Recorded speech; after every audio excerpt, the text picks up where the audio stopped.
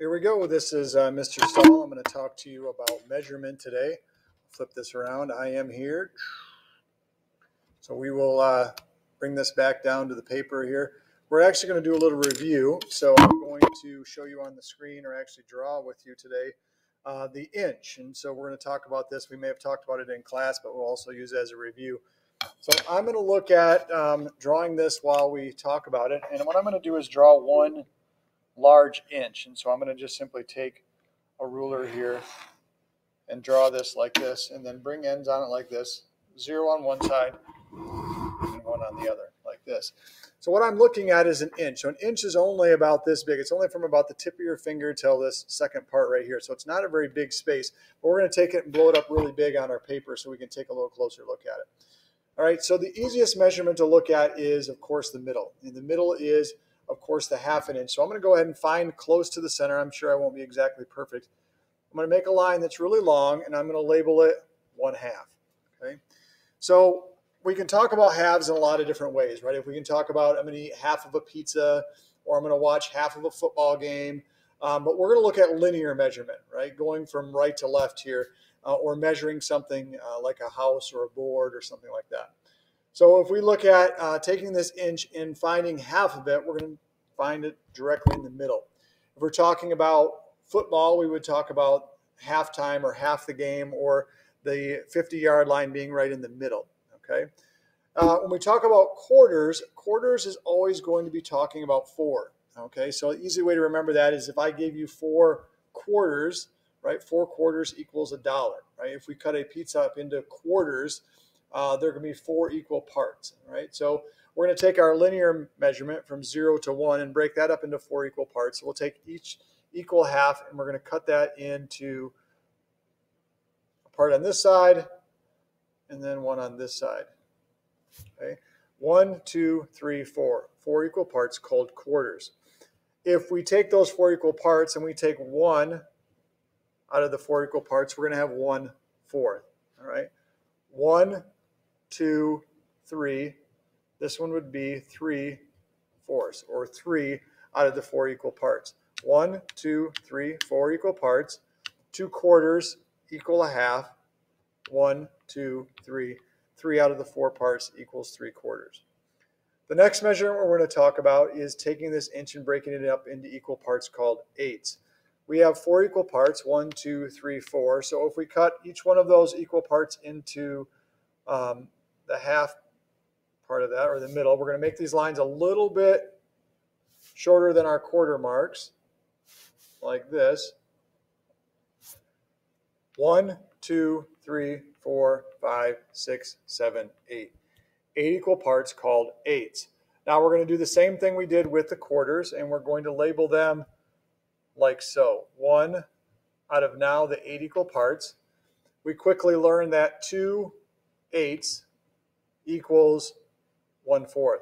Math people, if you know two eighths, all right, is going to reduce down to one fourth. So we're always going to call it one fourth. All right, one, two, three eighths. Four equal parts, or four out of the eight equal parts equals a half, we're always going to call it one half. One, two, three, four, five, eight. One, two, three, four, five, six, seven, eights, or seven out of the eight equal parts. Okay. We have one final step, and that one final step is uh, the smallest step, and that is 16ths. So we're going to go ahead and break those those eights into equal parts called sixteenths. They're going to be the little tiny marks. If I say find a sixteenth uh, or sixteenth, then I automatically want you to think little tiny marks. Think about the smallest marks on a ruler. Now, in the past, we've always went this way and simply walked across and measured them this way. I'm going to give you a couple pointers that I think will be pretty helpful. If I ask you what the first little mark would be, you'd say that is one out of the 16 equal parts. We count all these up, right, we would have 1, 2, 3, 4, 5, 6, 7, 8. 1, 2, 3, 4, 5, 6, 7, 8. 8 and 8 is 16. So that would make sense that this would be 8, 9, 10, 11, 12, 13, 14, 15. 15 out of the 16 equal parts, right? Meaning I have almost the whole inch. I have 15 out of the 16 equal pieces. So the first one's pretty easy. That's the smallest one, 116. The largest one at 15 sixteenths is clear down here on the end. And now let's talk about the two in the middle.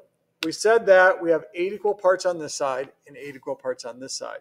So if this is 8 sixteenths, okay, we know that again, 8 sixteenths still equals a half, right? We know that from our math. If this is 8, one more would be 9 sixteenths, okay? If this is 9, this is 8, it would make sense that this would be 7. 7, 8, 9, 10, 11 sixteenths, 12, 13 sixteenths. Okay. We can go back this way and do this two different ways. One, two, three sixteenths, four, five sixteenths. Notice all of our little marks are sixteenths. Okay. Our next longest are our eights. There's only four of them. We have our quarters, one, two, three, four, and of course our half in the middle. Notice all the numbers on top are all odd. Make that observation so you know. All right, so this is the inch. The really cool thing about inches is uh, we have one inch, right?